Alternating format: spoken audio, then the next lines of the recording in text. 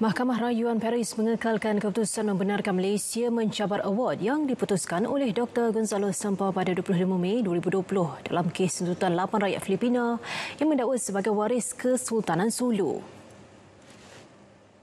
Kenyataan Menteri di Jabatan Perdana Menteri, Undang-Undang dan Reformasi Institusi, Datuk Seri Azalina Uthman berkata, Kejayaan itu sekaligus menutup peluang waris Sultan Sulu daripada terus membuat tuntutan tidak berasas terhadap Malaysia. Mahkamah Rayuan Paris mendapati Gonzalo Sampa cuba menyalahguna proses timbang tara dan undang-undang antarabangsa dengan mengemukakan tuntutan kepada kerajaan Malaysia pada Februari 2022. Keputusan ini juga bakal membatalkan tuntutan 15 bilion dolar Amerika oleh waris Sulu.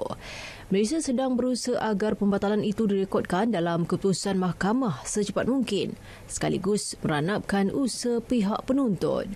Sebelum ini, tuntutan waris Sulu dicapai Gonzalo tanpa menerusi mahkamah timbang tara Paris. Mereka juga pernah menyasarkan aset Malaysia di Perancis dan Luxembourg tetapi tidak berjaya kerajaan akan terus mengambil semua tindakan yang perlu untuk menamatkan tuntutan dan memastikan kepentingan serta kedaulatan Malaysia dilindungi sepanjang masa.